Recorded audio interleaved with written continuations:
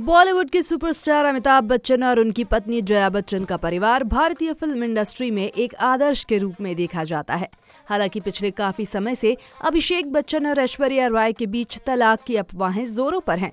इसी बीच अब ऐश्वर्या की सास जया बच्चन का एक वीडियो वायरल हो रहा है जिसमें उन्होंने ऐश्वर्या को एक बड़ी ही प्यारी सी सलाह दी थी।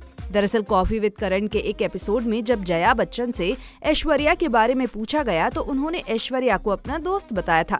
क्या है पूरा मामला, चलिए आपको बताते हैं। दरअसल करण जौहर के चर्च शो कॉफ़ी विद करण में जया अपनी बेटी श्वेता बच्चन के साथ पहुँची थी। इसी का ही एक वीडियो हाल ही में सुर्खियों में आ गया है। जया बच्चन ने इस एपिसोड में अपनी बहू ऐश्वर्या राय बच्चन के साथ अपने रिलेशन के बारे में कुछ ऐसा कहा था, जिसे सुनकर कई लोग हैरान रह गए थे। साल 2007 में अभिषेक बच्चन से शादी करने के बाद ऐश्वर्या राय बच्चन और जया बच्चन का रिश्ता हमेशा ही चर्चा का विषय रहा है। कई बार उनके रिश्ते को लेकर अफवाहें भी उड़ी।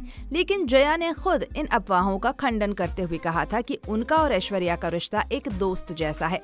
जया बच्चन ने इस इंटरव्यू के दौरान कहा था, वो मेरी दोस्त जैसी है। अगर मुझे उनमें कुछ ऐसा लगता है जो मुझे अच्छा नहीं लगता तो मैं उससे सीधे बता देती हूँ। मैं उनके बारे में पीछे से कोई राजनीति नहीं करती। अगर वो मुझसे सहमत नहीं होती तो वो भी अपनी राय खुलकर रखती है। जया ने मजाकिया अंदाज में कहा था मैं तो बूढ़ी हो गई हूँ। बस इतना फ़र्क है। इस बयान से साफ़ है कि जया और ऐश्वर्या के रिश्ते में कोई भी झगड़ा या विवाद नहीं था, बल्कि दोनों के बीच एक समझदारी और दोस्ती का रिश्ता था।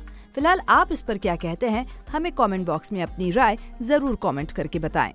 ऐसी ही और खबरों से हमेशा अपडेट रहने के लिए चैनल को सब्सक्राइब कर लीजिए और वीडियो पसंद आया हो तो लाइक और शेयर करना ना भूलें।